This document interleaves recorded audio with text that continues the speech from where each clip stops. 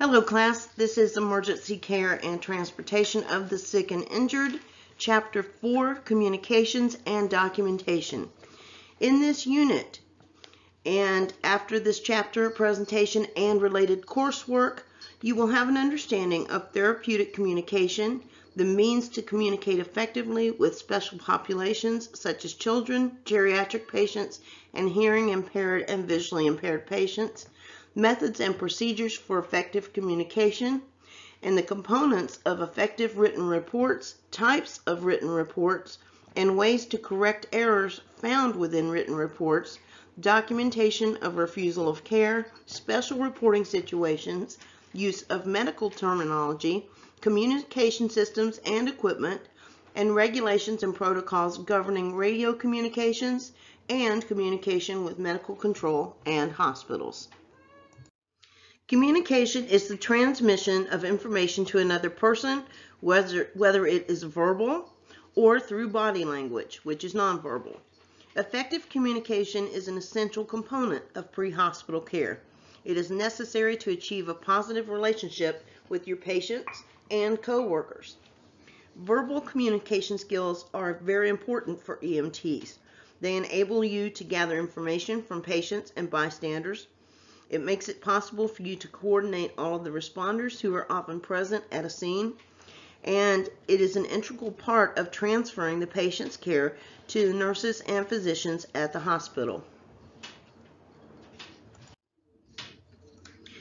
Documentation is the written or electronically recorded part of the patient's permanent medical record.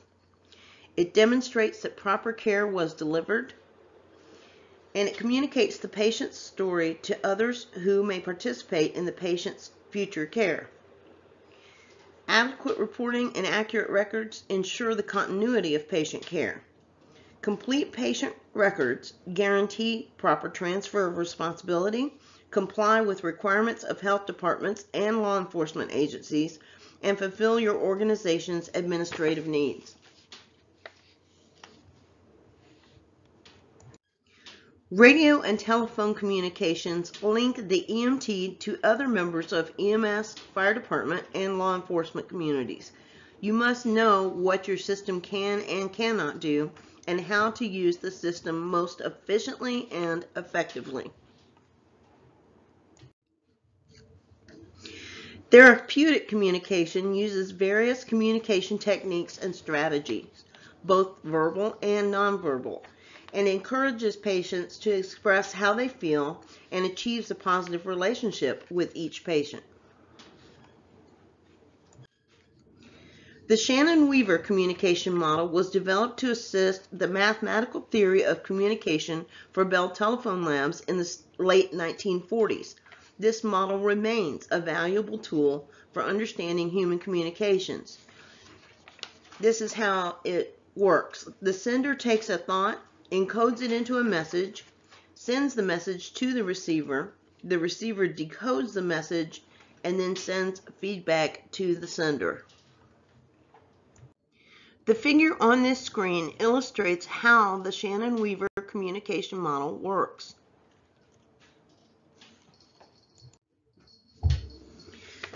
The table on this screen lists the factors and strategies to consider during communication.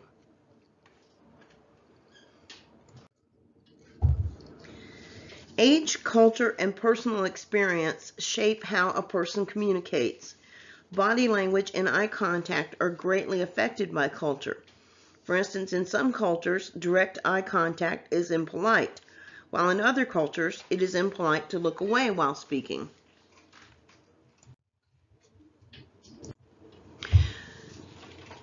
Tone, pace, and volume of the language offer clues about the mood of the person communicating and also provide insight into the perceived importance of the message. Ethnocentrism is considering your own cultural values to be more important than those of others. People tend to translate messages they receive using their own worldview. Cultural imposition means forcing your cultural values onto others. Healthcare providers may consciously or subconsciously force their cultural values onto their patients because they believe their values are better.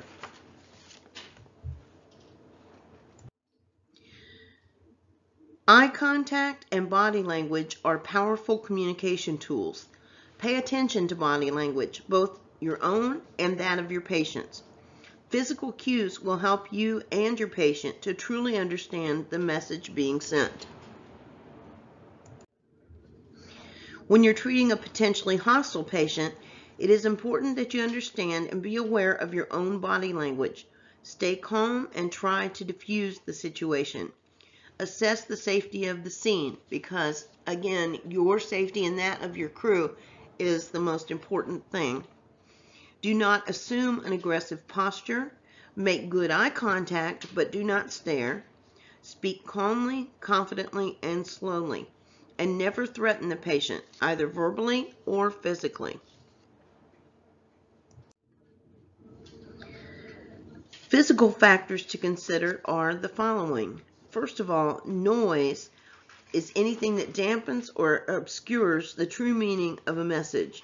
Literal noise, sounds in the environment, such as lighting, distance, or physical obstacles, may affect your communication.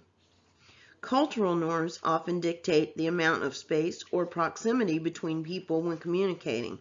As a person gets closer, a greater sense of trust must be established. Your gestures, body movements, and attitude towards patient care are critically important in gaining the trust of both the patient and any family that may be present.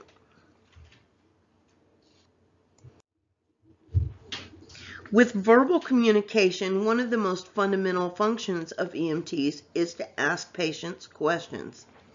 Open-ended questions require some level of detail in the response, and use these whenever possible. For example, what seems to be bothering you? Closed-ended questions can be answered in very short responses. The response is sometimes a single word like yes or no. Use this only if patients cannot provide long answers.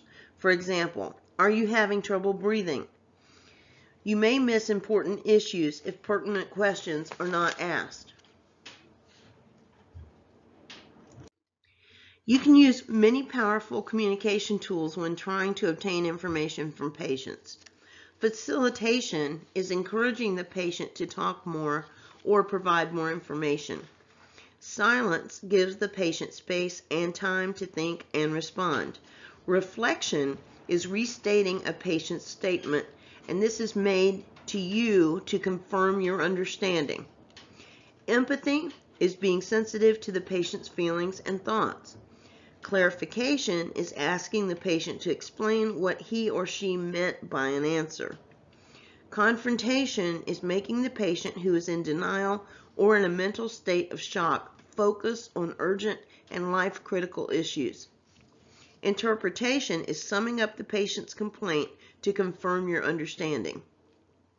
Explanation is providing factual information to support a conversation.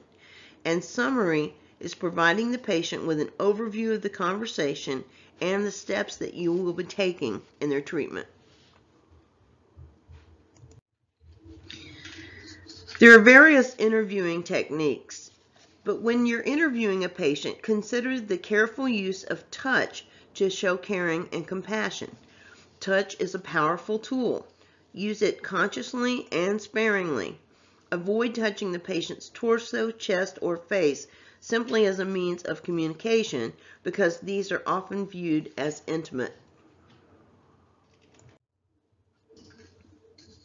Some interview techniques to avoid are providing false assurance or reassurance, giving unsolicited advice, asking leading or biased questions, talking too much, interrupting the patient, using why questions, use of authoritative language, or speaking in professional jargon, which they might not understand.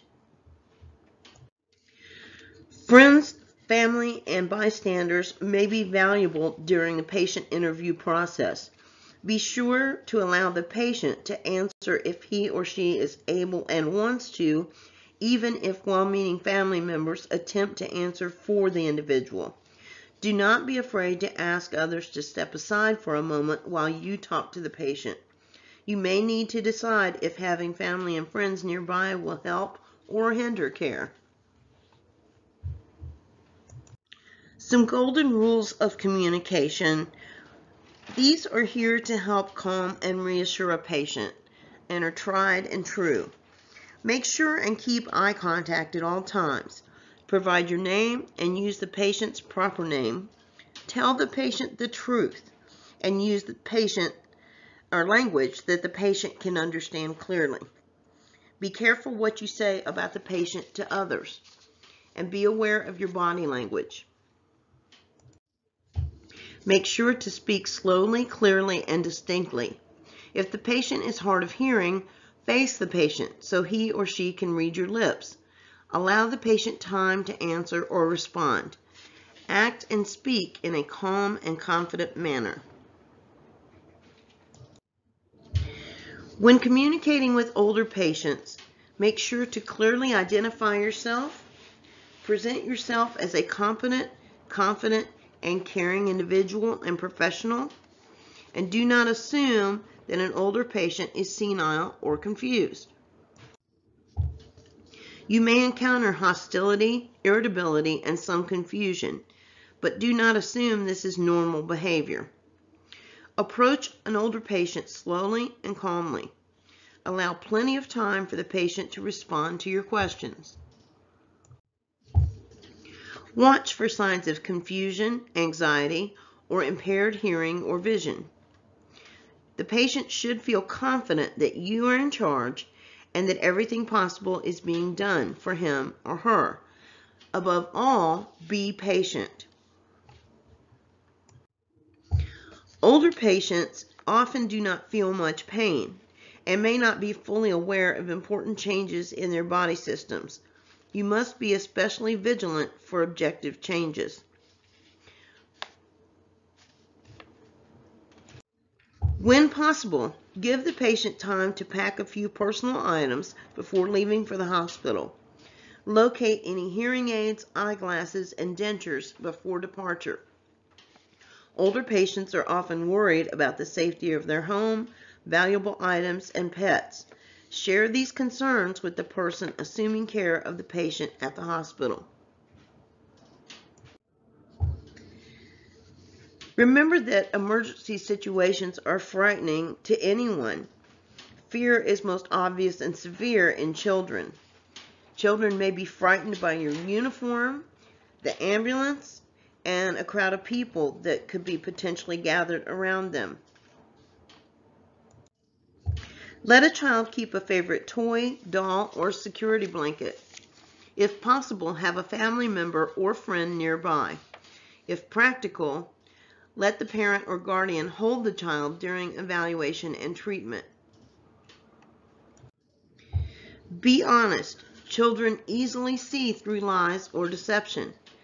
Tell the child ahead of time if something's going to potentially hurt. And respect the child's modesty.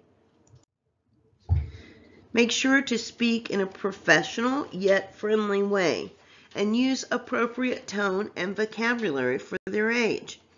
Maintain eye contact and position yourself down at the child's level. Do not tower over a child. This seems intimidating and frightening to them. Communicating with hearing impaired patients. Most people who are hard of hearing have normal intelligence and are not embarrassed by their disability. Make sure to position yourself so the patient can read your lips or see your lips. With hearing aids, be careful that they are not lost during an accident or fall, and they may be forgotten if the patient is confused. So ask the family about the patient and whether or not they use a hearing aid or hearing aids.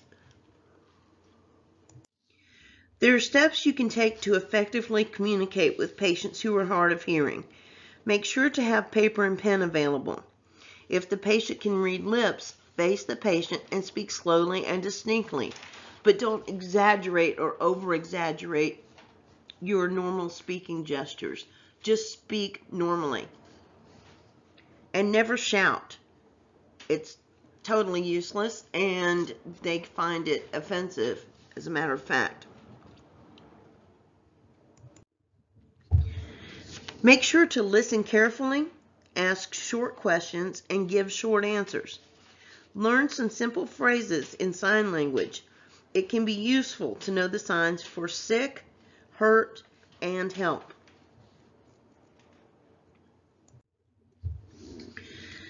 Communication with visually impaired patients is what we're going to discuss now. Ask the patient if he or she can see at all. Visually impaired patients are not necessarily completely blind and expect the patient to have normal intelligence. Explain everything that you are doing as you're doing it. Stay in physical contact with the patient as you begin your care. If the patient can walk to the ambulance, place his or her hand on your arm. Transport mobility aids such as a cane with the patient to the hospital.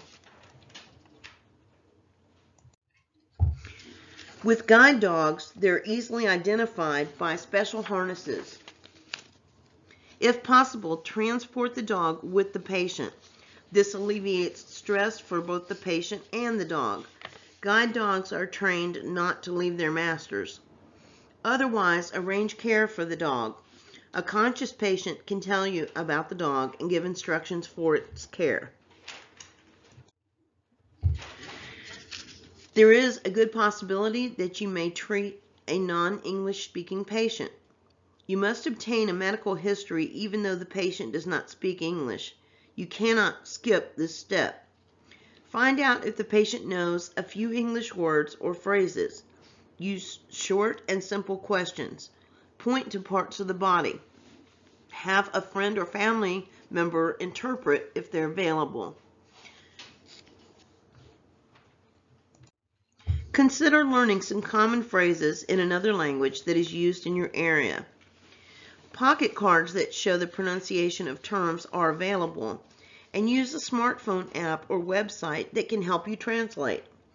Remember to request a translator for the patient at the hospital. Now let's discuss communication with other healthcare professionals. Your reporting responsibilities do not end when you arrive at the hospital. Effective communication between EMS providers and other healthcare professionals in the receiving facility is essential to effective and appropriate patient care. You must give an oral report to a hospital staff member. That staff member must have at least your level of training. Components of an oral report include opening information, which is the name, chief complaint, nature of the illness, or mechanism of injury for the patient. Detailed information that is not provided during a radio report, and any important history that may not already have been provided. Also report the patient's response to treatment given en route, vital signs, and any other information such as details gathered during transport, known allergies, and patient medications that you potentially have brought with you. Now let's discuss written communications and documentation. The first thing we're going to talk about is the Patient Care Report, or PCR. The PCR is the common acronym and stands obviously for the pre-hospital care report. It is a legal document. In fact, all of your records and documentation are legal documents. The PCR records all care from dispatch to hospital arrival. There are two types of PCRs, written and electronic. The PCR serves six functions, continuity of care, legal documentation, education, administrative information, essential research record, and evaluation and continuous quality improvement. The following are examples of information collected on a PCR. The chief complaint, level of consciousness or mental status, vital signs, initial assessment, and patient demographics and those include age, gender, and ethnic background. A lot of administrative information for use in billing, research, and quality improvement can be gathered from a PCR. Examples include the time that the incident was, reported, the EMS unit was notified, the EMS unit arrived at the scene, the EMS unit left the scene, the time the EMS unit arrived at the receiving facility, and finally the time that patient care was transferred. There are two types of forms. The traditional forms or the traditional written form has check boxes and a narrative section. There is a computerized version or electric PCR and sometimes is referred to as an EPCR.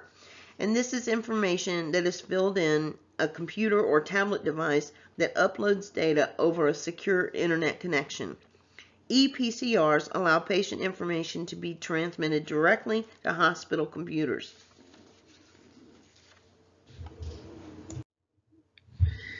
The narrative section of the PCR may be the most important. The elements of the narrative section include the time of events, assessment findings, emergency medical care provided, changes in the patient after treatment, observations at the scene, final patient disposition, refusal of care, or any staff person who continued care, or the staff person who continued care. Be sure to include significant negative findings and important observations about the scene. Do not record your conclusions about the incident. Use clear descriptions that do not make any judgments about the patient's condition. In written documentation, avoid radio codes and use only standard abbreviations. Remember that the report itself is considered a confidential document. You should be familiar with state and local laws concerning confidentiality. Now let's discuss reporting errors. Everyone makes mistakes.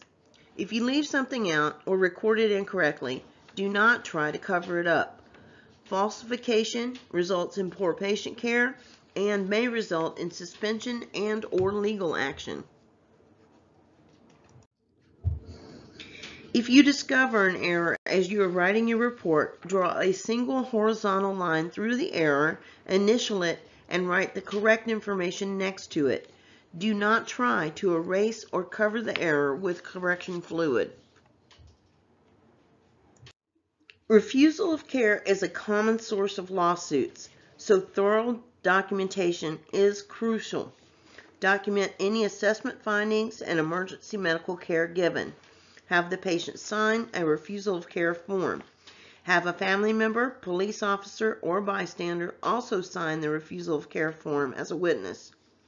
Depending on local requirements, the PCR might contain a complete assessment, evidence that the patient is able to make rational and an informed decision, discussion with the patient as to what care or transportation EMS recommends, discussion with the patient as to what may happen if he or she does not allow care or transportation, discussion with family, friends, and bystanders to try to encourage the patient to allow care, discussion with medical direction according to local protocol, providing the patient with other alternatives, for example, going to see his or her family doctor or having a family member drive him or her to the hospital, willingness of EMS to return, and signatures.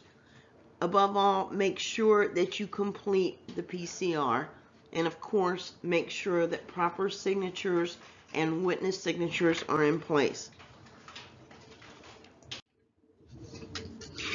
Special reporting situations can occur and depending on local requirements you may have uh, special reporting for gunshot wounds, dog bites, certain infectious diseases, suspected physical or sexual abuse, or multiple casualty incidents or MCIs.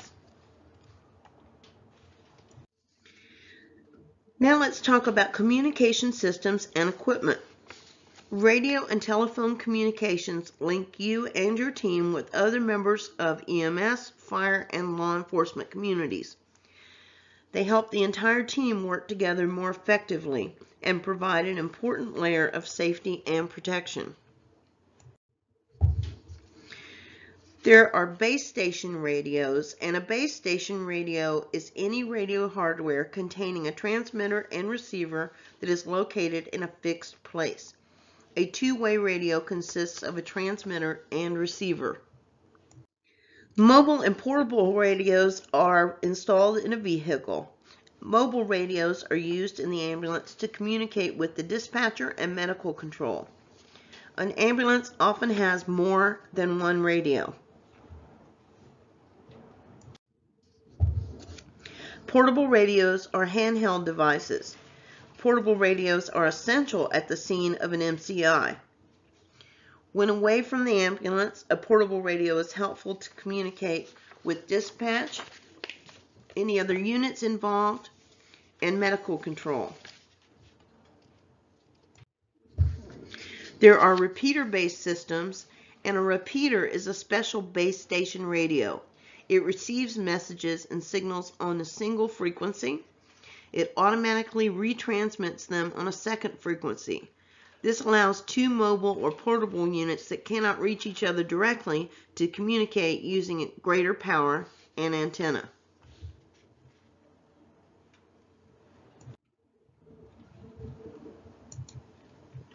This figure on this slide illustrates how a repeater-based system works. A message is sent from the control center to the transmitter by a landline. The radio carrier wave is picked up by the repeater for rebroadcast to outlying units. Return radio traffic is picked up by the repeater and rebroadcast to the control center. Now, digital equipment is part of EMS communications, of course, now and telemetry allows electronic signals to be converted into coded audible signals. These signals can be transmitted by radio or telephone to a receiver with a decoder at the hospital. Data from cardiac monitors can be transmitted via Bluetooth-enabled mobile devices to monitoring centers. And digital signals are also used in some kinds of paging and tone alerting systems.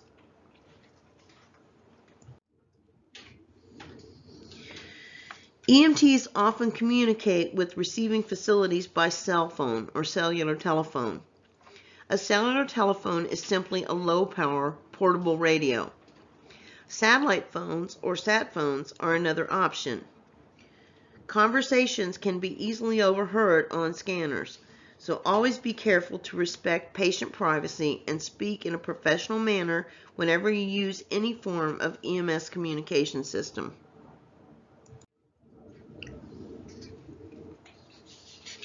There are other communications equipment available. For example, ambulances usually have an external public address system.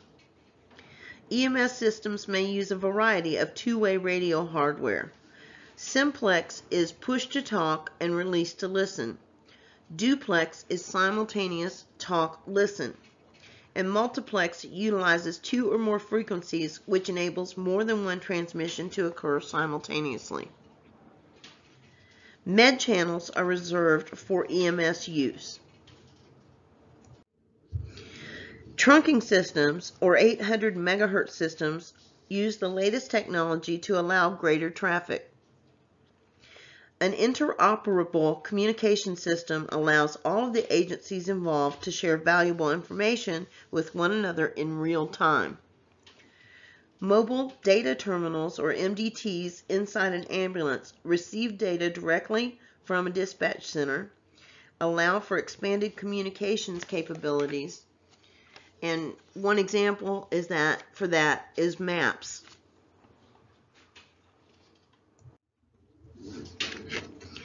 Now with radio communications, the FCC or Federal Communications Commission regulates all radio operations in the United States.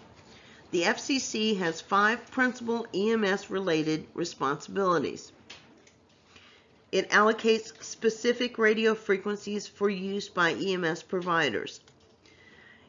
It provides the licensing for base stations and assigning appropriate radio call signs for those stations. It establishes licensing standards and operating specifications for radio equipment used by EMS providers. It also establishes limitations for transmitter power output and it monitors radio operations. The FCC's Rules and Regulations section, Part 90, Subpart C, deals with EMS communications issues.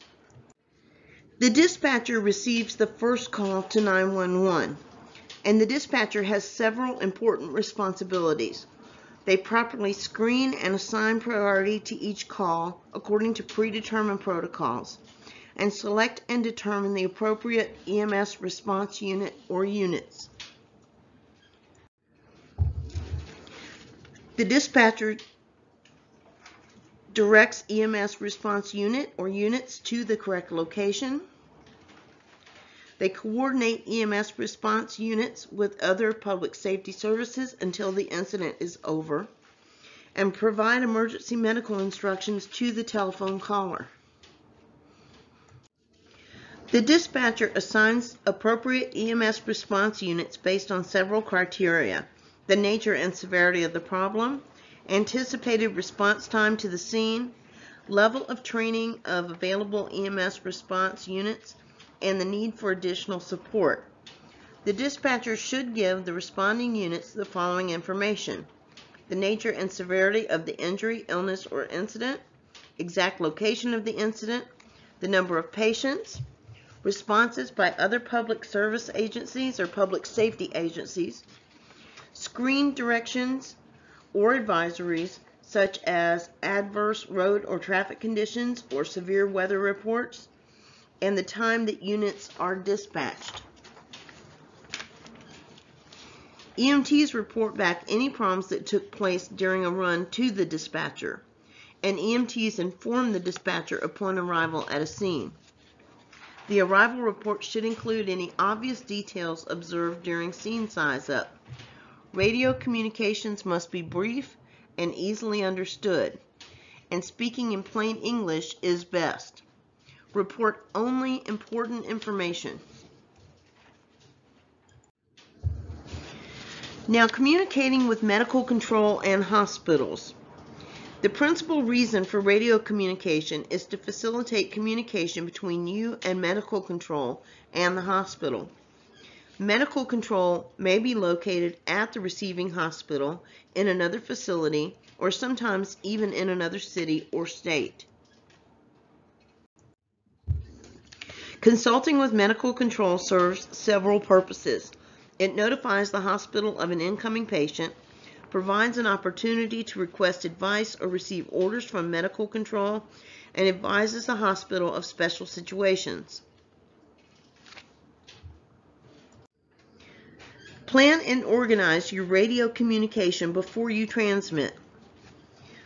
These are the best tips to give a proper patient report. Follow the standard format established by your EMS system. Include nine elements.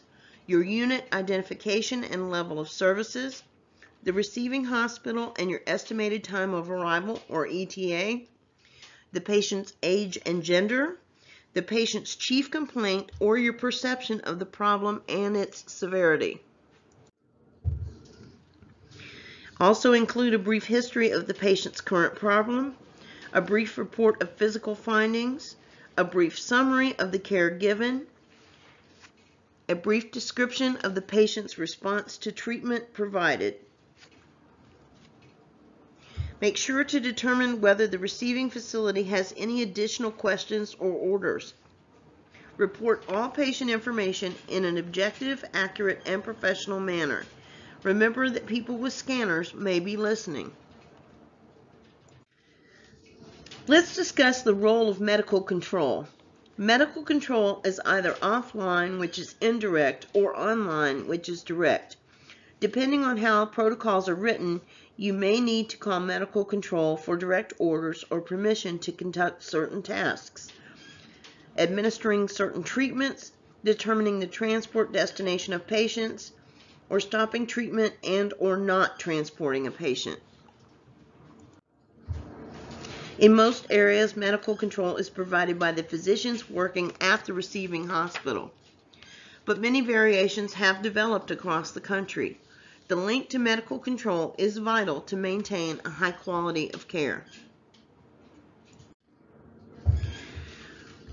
There are a number of ways to control access on ambulance to hospital channels when calling medical control. The dispatcher monitors and assigns appropriate, clear medical control channels. Centralized emerg excuse me, centralized medical emergency dispatch or resource coordination centers exist. The physician on the other end bases his or her instructions on the information the EMT provides. Never use codes when communicating with medical control unless you are directed to by local protocol.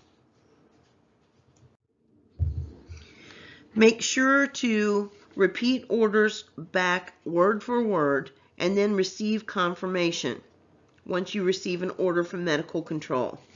Do not blindly follow an order that does not make sense to you.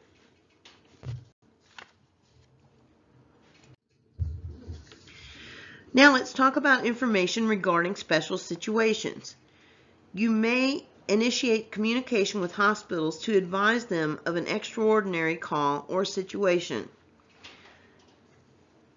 A small rural hospital may be better able to respond to multiple patients from a highway crash if notified when the ambulance is first responding. Some other special situations include hazardous materials situations, rescues in progress, and multiple casualty incidents. When notifying the hospital of special situations, keep several points in mind. The earlier the notification, the better. Provide an estimate of the number of individuals who may need to be transported to the facility. Identify any special needs the patients might have, such as burns or exposure to hazardous materials, so that you can help assist the hospital in preparation and then follow the plan for your system. Now maintenance of radio equipment is of course vitally important. Like other EMS equipment, radio equipment must be serviced. The radio is your lifeline to other public safety agencies whose duties include protecting you and to medical control. At the beginning of a shift, check radio equipment. Radio equipment may fail during a run. The backup plan must then be followed. Standing orders are written documents signed by the EMS systems medical director outlining specific directions, permissions, and sometimes prohibitions regarding patient care. When properly followed, standing orders have the same authority and legal status as orders given over the radio. Okay, class, thank you for your time and attention. Let's do some review questions to cover the material that we talked about here in Chapter 4. The first review question. When healthcare providers force their cultural values onto their patients because they believe their values are better they are displaying A, ethnocentrism, B, proxemics, C, nonverbal communication, or D, cultural imposition. The answer is D. Forcing your own cultural values onto others because you believe your values are better is referred to as cultural imposition. Let's look at the other options and see why they were incorrect. To remind you of the question, when healthcare providers force their cultural values onto their patients because they believe their values are better, they are displaying A, ethnocentrism. That's incorrect because ethnocentrism means considering your own cultural values as more important is not the same thing as cultural imposition. Proxemics is the study of space and how the distance between people affects communication. That's obviously not the correct answer here. C, nonverbal communication. And that's incorrect because nonverbal communication refers to any communication that does not use language. So, of course, D is the correct answer. When you force cultural values onto a patient because you believe your values are better, that's displaying cultural imposition. Review question two. When communicating with an older patient, you should A. approach the patient slowly and calmly. B. Step back to avoid making the patient uncomfortable. C. Raise your voice to ensure the patient can hear you. Or D. Obtain the majority of information from family members. If you look at this question carefully, I'm sure you can easily come up with the correct answer. And the answer is, of course, A.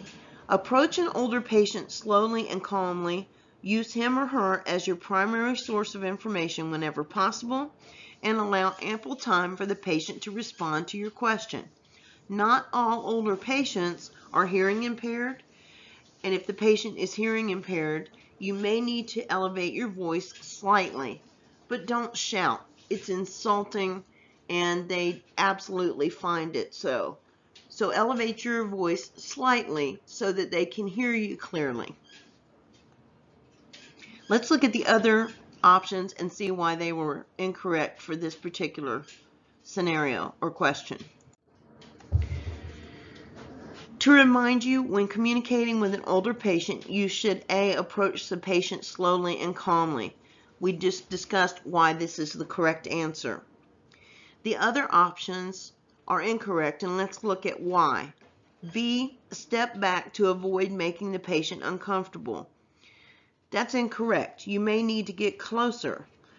And of course you have to touch the patient to take vital signs. Raise your voice to ensure that the patient can hear you. That's incorrect because not all older patients are hearing impaired. Um, the other option is obtaining the majority of your information from family members. That's not correct because you want to get most of your patient from the patient. Always speak to the patient because the patient's responses can provide unlimited information.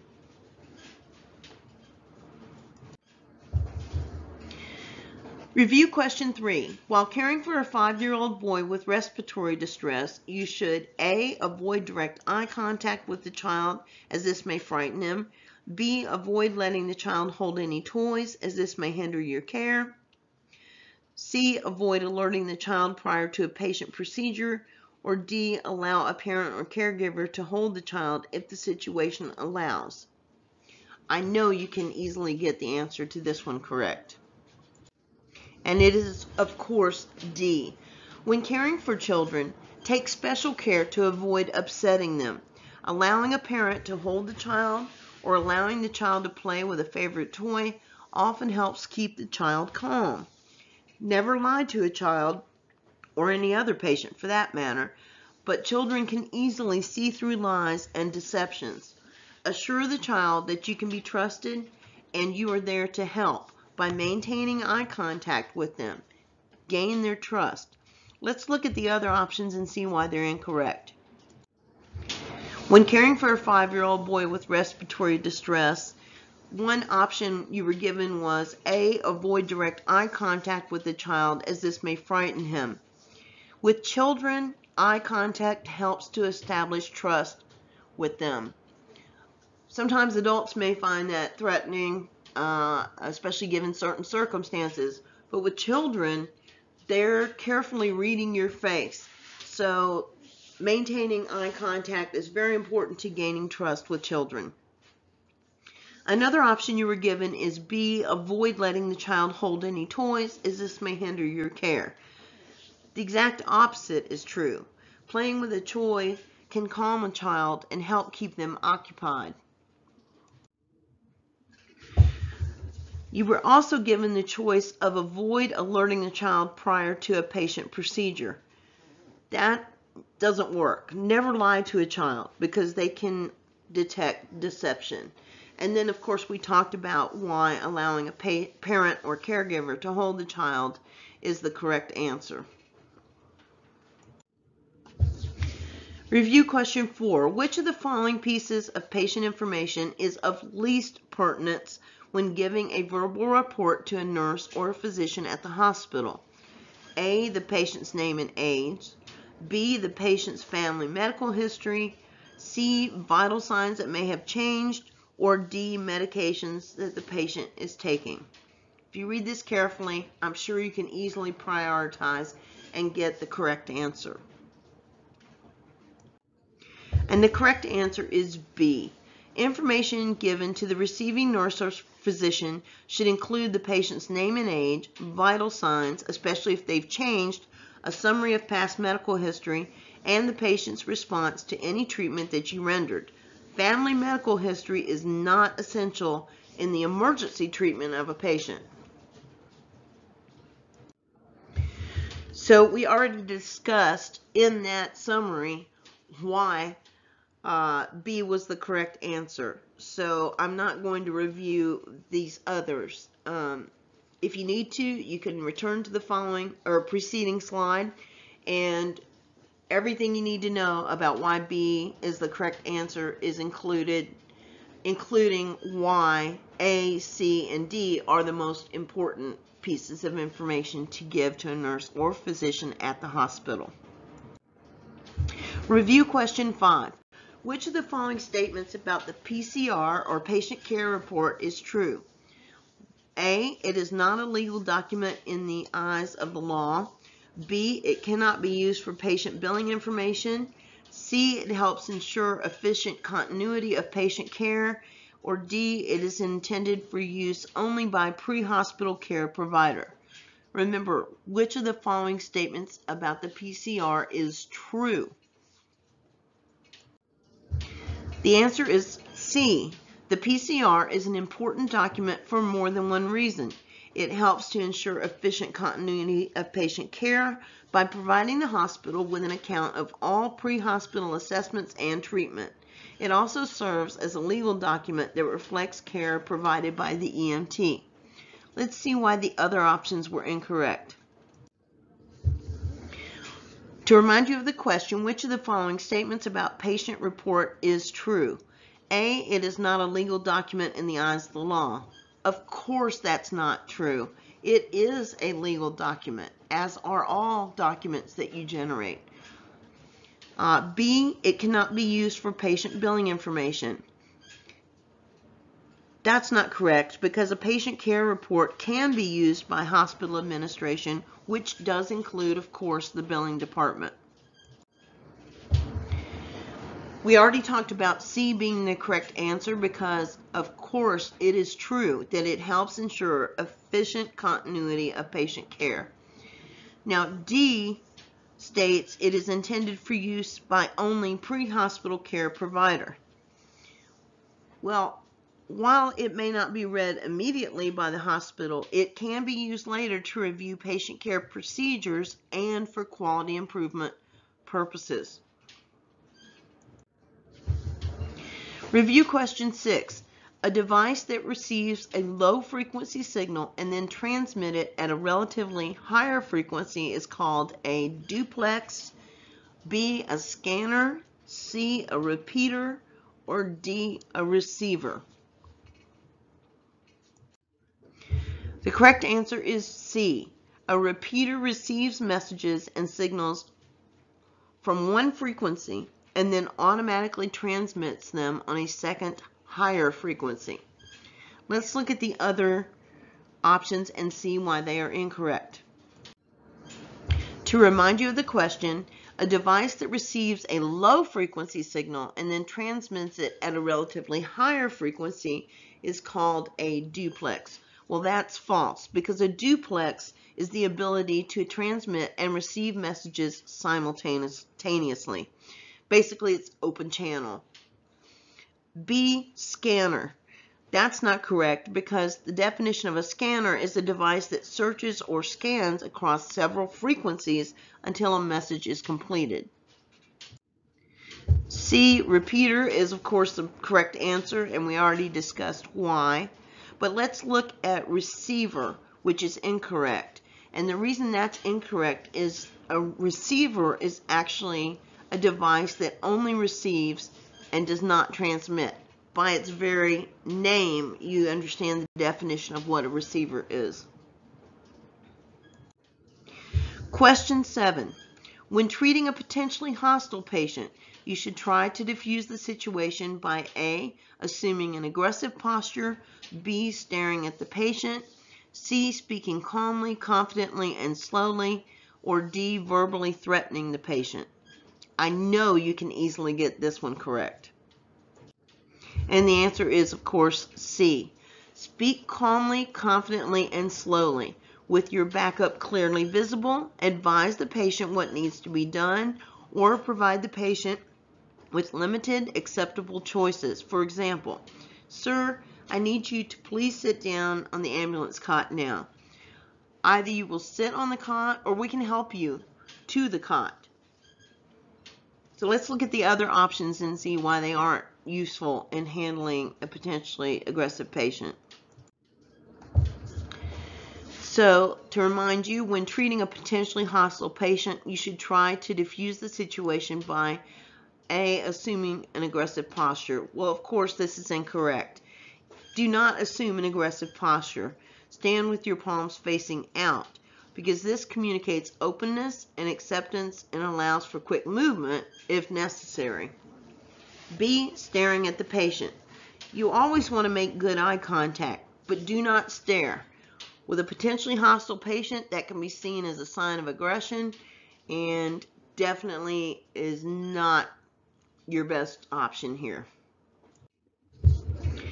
C. Speaking calmly, confidently, and slowly with a potentially hostile patient is, of course, the correct answer. And we discussed this in earlier chapters. The more calm you are, the more calm the patient is likely to be, and the more calm the entire scene is likely to be. Your last option was D, verbally threatening the patient. Well, we've talked earlier about why verbally threatening a patient is not uh, a good thing, either verbally or physically. And of course, you open yourself to potential legal action as well. Number eight, all of the following are functions of the emergency medical dispatcher except A. Alerting the appropriate EMS response unit. B. Screening a call and assigning it as a priority. C. Providing emergency medical instructions to the caller. Or D. Providing medical direction to the EMT in the field. This one should be obvious. So let's look at the correct answer. And it is, of course, D. The functions of the emergency medical dispatcher include screening a call and assigning it as a priority, alerting appropriate EMS response units, coordinating EMS units with other public safety services, and providing pre-arrival emergency medical instructions to the caller. Their job is not to coach you as an EMT in the field. Absolutely not one of their roles and responsibilities. So I'm not going to review this question because basically we just went over everything that they are responsible for and certainly what they are not responsible for, which is coaching you in the field. And this is the remainder of question 8. And again, we've completely covered everything in question 8 in terms of all of the possible answers. Question 9. After receiving an order from medical control over the radio, the EMT should A. carry out the order immediately, B. disregard the order if it is not understood, C. obtain the necessary consent from the patient, or D. repeat the order to the physician word for word. So read this one carefully. Let's see what the correct answer is. D. After receiving an order from medical control, the EMT should repeat the order back to the physician word for word. This will ensure that he or she heard the order correctly. After confirming the order, the EMT should obtain the necessary consent from the patient. So you want to repeat the order back to the physician so that you're clear on exactly what you're instructed to do and then, of course, before you do anything to a patient, always obtain consent. So let's look at the other options and see why they're incorrect. To remind you, after receiving an order from a medical control over the radio, the EMT should A, carry out the order immediately. That's incorrect because the order must be repeated back to confirm that it was heard correctly. B, disregard the order if it is not understood. Well, of course, that's incorrect because you want to repeat the order so it will help the EMT to clarify any misunderstandings. C, obtain the necessary consent from the patient. Well, this is correct. However, this step is carried out after the order's been confirmed and understood by the EMT, which is of course covered in D, which is repeating the order to the physician word for word. That way you're clear and then obtain consent from your patient for treatment. Now our last review question, number 10, when requesting medical direction for a patient who was involved in a major car accident, the EMT should avoid A, using radio codes to describe the situation, B, questioning an order that seems inappropriate, C, relaying vital signs unless they are abnormal, or D, the use of medical terminology when speaking. Okay, read this one carefully. Now let's look and see what the correct answer is. This A, when we're giving I'm sorry, when giving a report to medical control or requesting medical direction, the EMT should avoid the use of codes such as 1050 or signal 70, for example. One cannot assume that the physician is familiar with these codes. Always use plain English when speaking because it's more effective and terminology you use in the field is not the terminology that the physician uses in the hospital. So to avoid confusion, just speak in plain text or plain English. Let's look at the other options and see why they are incorrect. Just to remind you, when requesting medical direction for a patient who is involved in a major car accident, the EMT should avoid A, using radio codes to describe the situation. Of course, that's the correct answer, and we just discussed why. The other option you were given was B, questioning an order that seems inappropriate. If an order seems inappropriate, EMS providers must question the validity of the order. But it doesn't apply necessarily to the scenario that's outlined in the question. C, relaying vital signs unless they are abnormal. Okay, if you are requesting medical direction for a patient who is involved in a major car accident, uh, the EMT should avoid relaying vital signs unless they are abnormal. And this is not the correct answer to the question because vital signs are necessary to describe the patient's condition to the medical director. And D, the use of medical terminology when speaking. Well, the use of appropriate medical terminology shows the EMS providers confidence, knowledge, and expertise to the medical director. So medical terminology that's correct is medical terminology that's correct, and it's used at every level of medicine from EMR up. Thank you for your time and attention in this chapter. I appreciate it. We look forward to working with you in Chapter 5.